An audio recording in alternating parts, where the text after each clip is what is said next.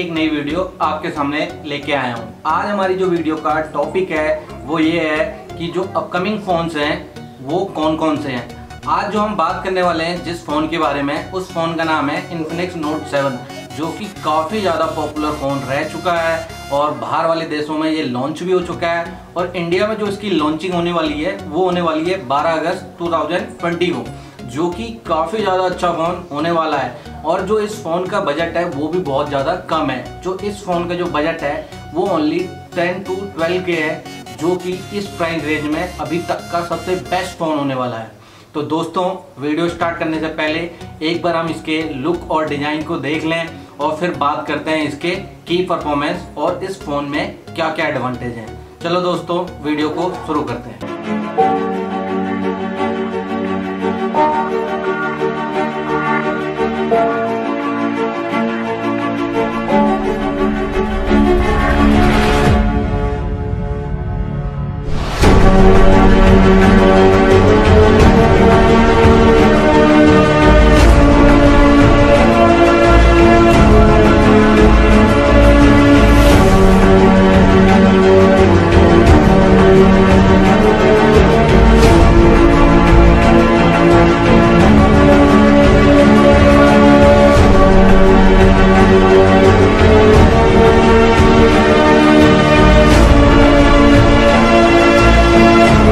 जैसा कि दोस्तों, आपने देखा इस फ़ोन का जो लुक है, कितना ज़्यादा अट्रैक्टिव है। तो दोस्तों, सबसे पहले हम बात करते हैं इसके डिस्प्ले की। डिस्प्ले में जो मटेरियल यूज़ किया गया हुआ है, वो किया गया हुआ है आईपीएस स्क्रीन का। साथ में ही दोस्तों स्क्रीन को प्रोटेक्ट करने के लिए इसमें यूज़ किया गया हुआ है गोरिल्ला ग्लास का। और साथ में ही दोस्तों, अगर हम इसकी पिक्सल डेंसिटी की बात करें तो जो इसकी पिक्सल डेंसिटी है, वो है 258 ppi जो कि अंडर 10 के बेस्ट होने वाली है। साथ में ही दोस्तों बात करें इसके टच स्क्रीन की।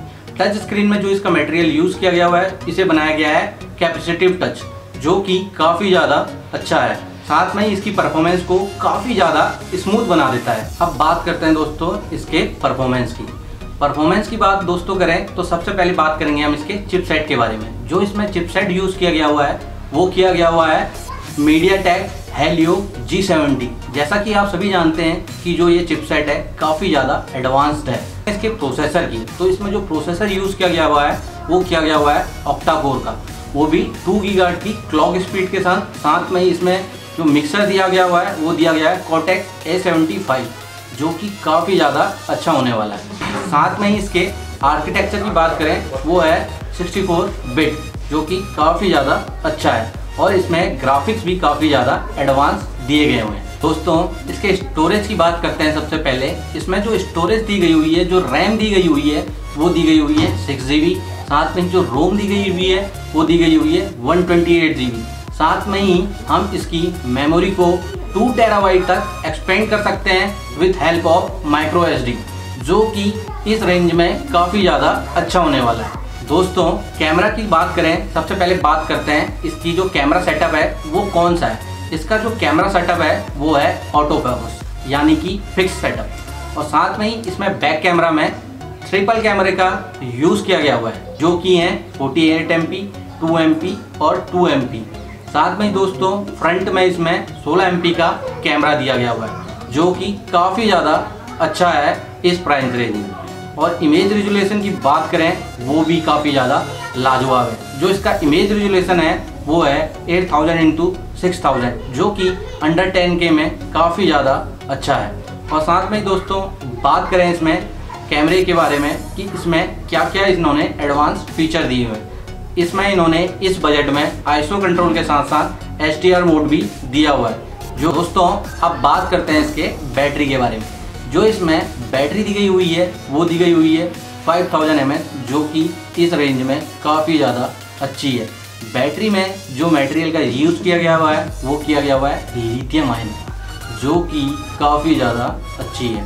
साथ में ही दोस्तों, इसमें फास्ट चार्जिंग भी दी गई हुई है, वो भी नेटवर्क की कनेक्टिविटी के हिसाब से।